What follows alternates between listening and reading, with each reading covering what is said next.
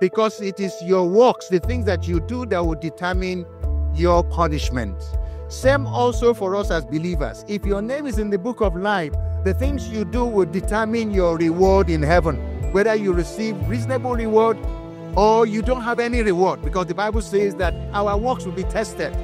And it is what remains that will determine your reward.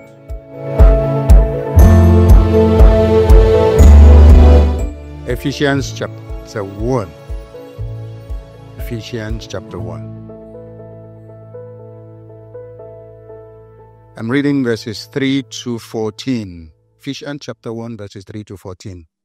Blessed be the God and Father of our Lord Jesus Christ, who has blessed us with every spiritual blessing in heavenly places in Christ Jesus. Just as He chose us in Him before the foundation of the world, that we should be holy and without blame before Him in love having predestined us to adoption as sons by Jesus Christ to himself, according to the good pleasure of his will, to the praise of the glory of his grace, by which he has made us accepted in the beloved.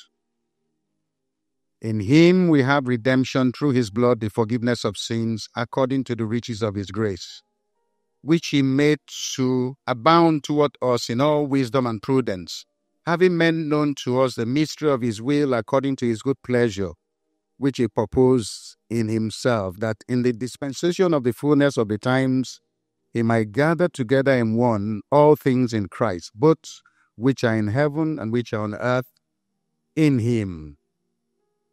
In him also we have obtained an inheritance, being predestined according to the purpose of him who works all things according to the counsel of his will, that we who first trusted in Christ should be to the praise of his glory.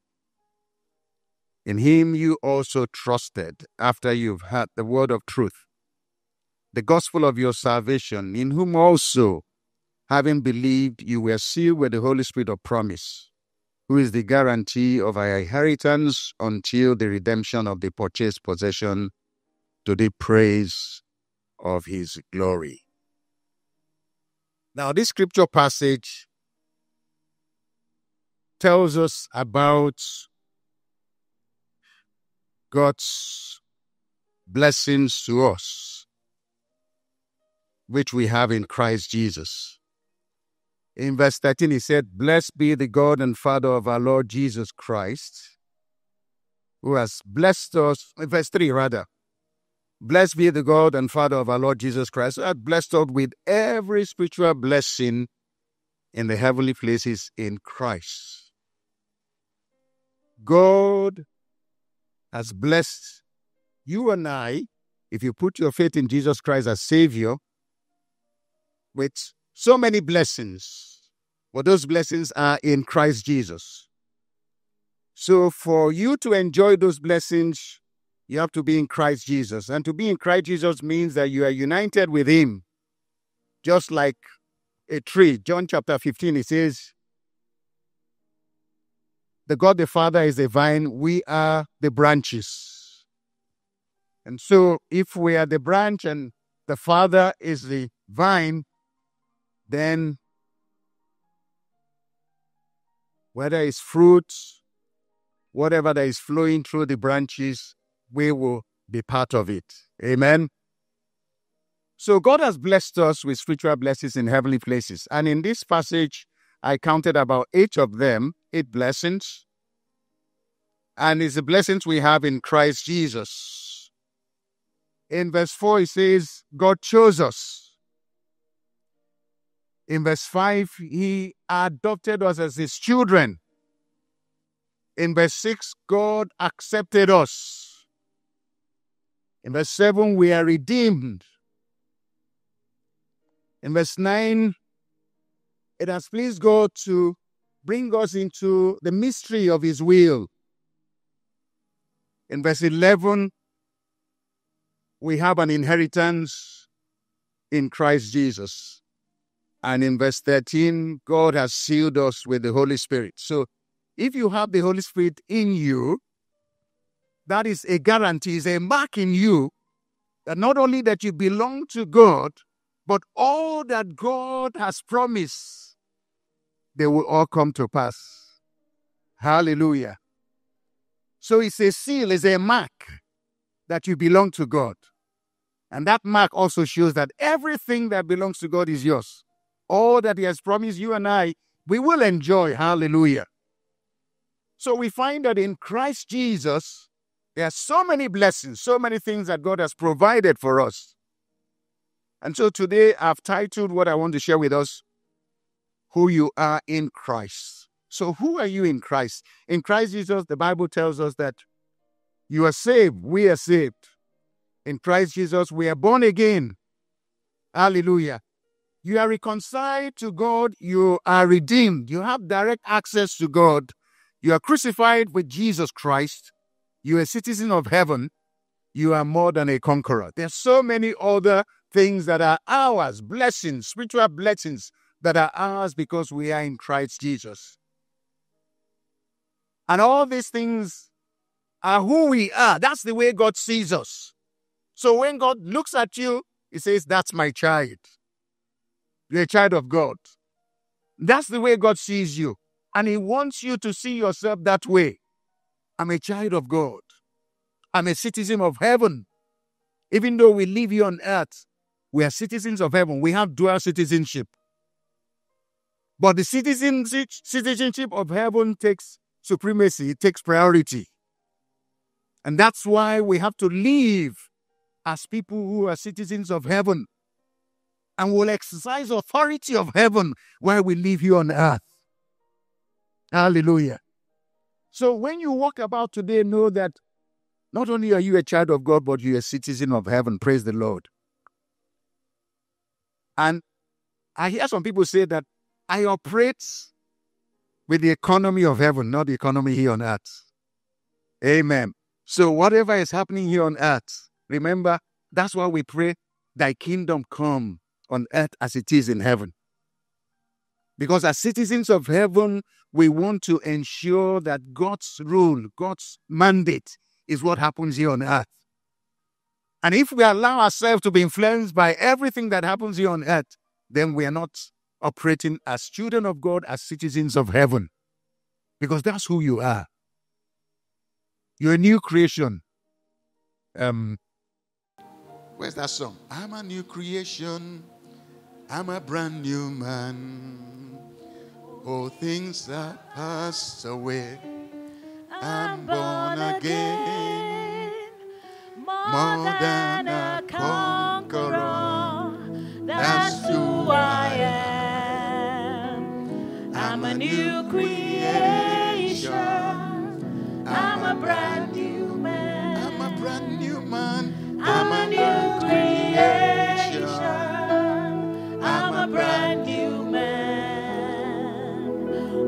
Things are passed away.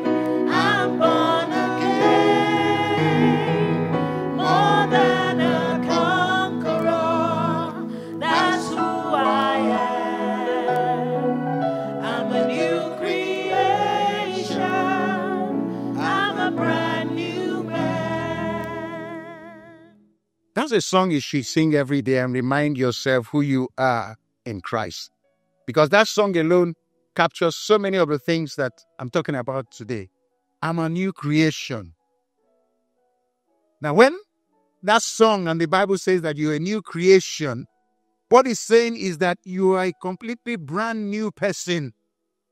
When you put your faith in Jesus Christ as your Savior, you're not the same person. Second Corinthians chapter 5, verse 76 says, You're a new creation. All things are passed away. Behold, all things have become new. Hallelujah. You know, I had somebody that said sometime that they are, he says, the part of me that is not born again. No, there's no part of you that is not born again. Because this scripture says you are a brand new person, new creation, something that never existed before. Now you are brand new. And that's the way you should see yourself. It says, All things are passed away. Behold, all things have become new. That's who we are. New creation. So you have new desires. You have new pleasures. You have new master. Satan is no longer your master. The Bible says that when we are born again, God translates us. He takes us out of the kingdom of darkness into the kingdom of His dear Son. King James Version says it's a translation. You are transferred, you are removed, you are delivered from the influence and the authority of Satan, and then you are put in the kingdom of God, and Jesus Christ is your master.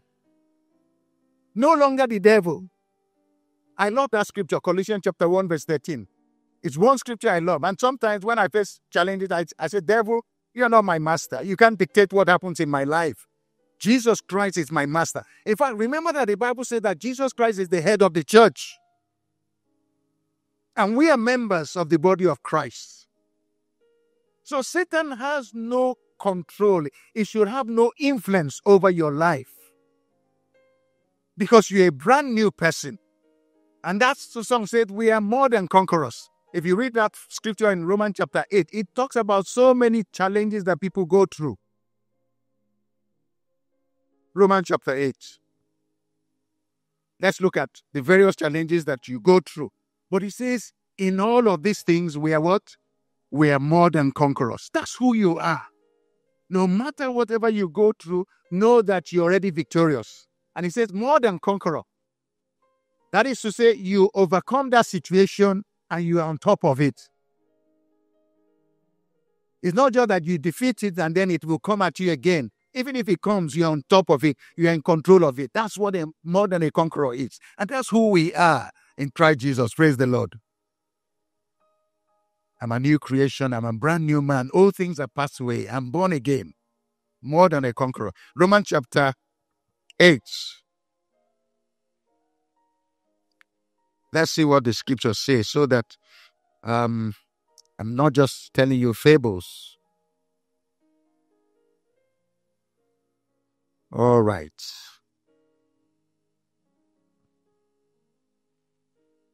Let's start from verse 31. What then shall we say to these things? If God is for us, who can be against us? He who did not spare his own son, but delivered him up for us all, how shall he not with him also freely give us all things? Who shall bring a charge against God's elect? It is God who justifies. Who is he that condemns? It is Christ who had died, and furthermore is risen. Who is it? Who who is at even at the right hand of God, who also makes intercession for us? Who shall separate us from the love of Christ? Now, here he goes. Let me read it in um, the easy to read version so that um, it's simpler. All right. It says, Can trouble, no, or problems, or persecution separate us from his love? If we have no food, clothes, we face danger, or even death, will that separate us from his love? As far as the scriptures say, for you we are in danger of death all the time. People think we are worth no more than sheep to be killed. But in all these troubles, we have complete victory through God who has shown his love for us. Amen. Yes, I am sure that nothing can separate us from God's love. Not death, life, angels, ruling spirits. I'm sure that nothing now, nothing in the future, no powers, nothing above us, nothing below us, nothing in the whole created world will ever be able to separate us from the love of Christ, love of God, uh, love, the, f- separate us from the love God has shown us in Christ Jesus our Lord. So nothing, nothing whatsoever. We are more than conquerors. Trouble, problems, lack, nothing. Nothing. We, are, we overcome those things. Praise the Lord. Praise the name of the Lord. So you're a brand new person. You're a child of God. There are only two families on this earth. Only two families. You either belong to the family of God or you belong to the family of the devil. When Jesus Christ was talking to the Jews, he told them that what you do, your, your father, the devil, and it is what he does that you do. He's a liar, he's a murderer, and so are you, because they wanted to kill Jesus Christ. So there are just only two families. And the way we become children of God and we belong to God's family is by putting our faith in Jesus Christ. John chapter 1, verse 12 says, As many as believe him, to them he gave the right to become the children of God. Nobody in this earth is a child of God in the sense that God is your father, except you put your faith in Jesus Christ as your Savior. All of us, we are rebels, we are sinners, and because of that, the devil is our father. I've had some people say that when you are going to, when you want to marry and you you you want to marry an unbeliever, they'll tell you that your father-in-law is the devil. I, I wouldn't go as far as that. But the, the if you look at the scripture, that's really what it's saying. That um, if you are not a child of God, your father is the devil. That's that's that's scripture. But if you're a child of God, if you are born again, John chapter 1, verse 12, it says, It's when you believe in Jesus Christ, then you have the right to become a child of God. And when you're a child of God, God is your father. Praise the Lord. Yes, it's when you put your faith in Jesus Christ, you become a child of God. But until then, you're a child of the devil, unfortunately. Now, um, Pastor Demola reminds us a lot of time who God the Father is. And what he does is to help us to talk about or look at our own parents, our own fathers. I know parents who, okay, let me put it this way. As, as you have, has your children at any time come to you to say, Daddy or Mommy, please uh, remember to pay my school fees? Does that happen? Even before they come, you already planned. You've made plans. You know it's your responsibility. And so you provide for them. And that's what God does for us because we are His children. He provides for us. He does. He cares for us. He has our best interests in His heart. He thinks about us. That's what it means for us to be a child of God. It means that God is your father. He cares for you. But you know, if if you remember um um which passage in scripture is that now? Um, where where God tells us not to worry. Matthew chapter 6. Because God is our Father, and He says over and over there that God cares for us, but we worry about so many things because we have not learned to trust Him as our Father. So remember, you're a child of God. And as a child of God, God is your Father, He cares for you. Another thing is that a father would ensure that he protects his children. There is no parent that will expose his or her child to danger or to hurt. We don't do that. So also God our Father. He protects us. I, I love Job chapter 1, I think it's verse 10, where Satan was complaining to God the Father and was telling him, See, I can't touch you because you've built a hedge, a protection. He said, You built a hedge around him, around his family, and around everything that he has. It was only after God gave Satan the permission that was when Satan was able to touch Job. Without that permission, he wasn't able to do anything. He was complaining. He said, You protected him. And that's what God does for you and I. He loves us, He cares for us, He provides for us, and then He protects us because we are His children. You can imagine the whole armies of heaven deployed to protect you. There's another scripture that said, God builds a wall of fire around us as protection. Praise the Lord. We don't, we sometimes we are not aware. We are so afraid. If you know you're a child of God, know that you are protected. You can, I, I am not saying that you, you can just put yourself uh, um, uh, to, to, get killed or you know put yourself uh, in a situation that uh, uh, you you you expose yourself. But the thing is this god protects us but we shouldn't be careless because god protects us. But be aware that god cares for you and god protects you. Hmm. All right let me round up with this. I'm a new creation i'm a brand new man all things happen i'm i'm born again To be born again means that you are born from above. It means that you are born anew. It's a spiritual birth. Remember, Nicodemus said, Will I enter into my mother's womb so that I'll be born again? Jesus said, Of course, no.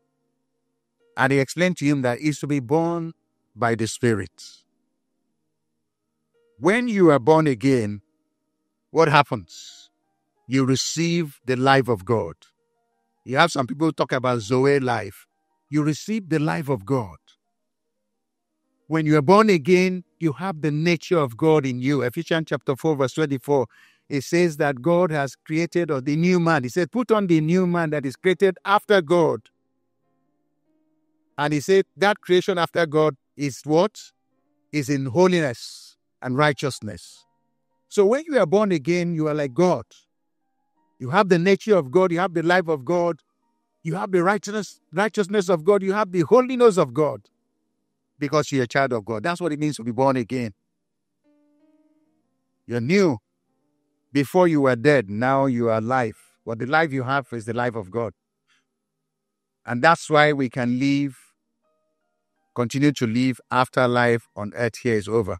And that life is a relationship you continue with the Lord Jesus Christ and with the God the Father when life on earth here is over. That's what it means to be born again. You have a new nature. You have the life of God. Okay? You have relationship with God the Father. Hallelujah. Then, like I said, the final one is that you are saved. What does it mean to be saved? You are saved from death. Romans chapter 6, verse 23. The wages of sin is death but the free gift of God is eternal life through Jesus Christ our Lord. Death, the Bible refers to there, is spiritual death and eternal death. What happens in salvation is that God saves us from eternal death. Eternal death is death in the lake of fire. If you've not put your faith in Jesus Christ as your Savior, and you die physically here on earth, you will die a second time. And that death is to be cast into the lake of fire. Revelation chapter what? I think chapter 20, verse 15. It says, um, Those whose names were not written in the Lamb's book of life, they were thrown into the lake of fire. And for you to have your name in the Lamb's book of life, the Lamb is Jesus Christ. And it says, life Lamb's Book of Life is a book of life. If you have not received Jesus Christ, you are spiritually dead. And so, if you arrive at the throne of God, spiritually dead, then you'll be thrown into the lake of fire because your name will not be in the Lamb's Book of Life. He that has the Son has life. First John chapter 5. He that has not that, that does not have the Son does not have life. So, for your name to be in the Lamb Book of Life, you need to put your faith in Jesus Christ as your Savior. But if you don't, and you pass from this life, you stand before God, the books will be open. You know, some people think that it's all the things that you have done. The first book that will be open is the book of life. And then they will check, is your name there? If your name is there, you are with God. But if your name is not there, you end up in the lake of fire. The Bible said that is the second death. So if you're here, you've not received Jesus Christ, you've not trusted Him as your Savior, that's what you need to do. Now, the, that passage also says, and other books were opened and people were judged by the things written in that in those books. Now those are the books of the things you have done. And those books will determine if you're in the lake of fire whether you'll be in the hottest past or the the hotter bath because it is your works the things that you do that will determine your punishment. Same also for us as believers. If your name is in the book of life the things you do will determine your reward in heaven. Whether you receive reasonable reward or you don't have any reward, because the Bible says that our works will be tested.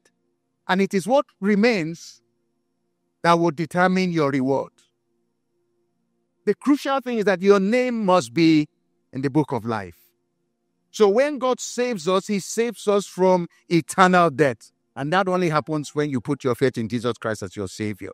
So if you are here, all the things we've said, these spiritual blessings in heavenly places, these blessings that are ours in Christ Jesus, they won't be yours except your name is written in the book of life. And that's if you put your trust in Jesus Christ as your Savior.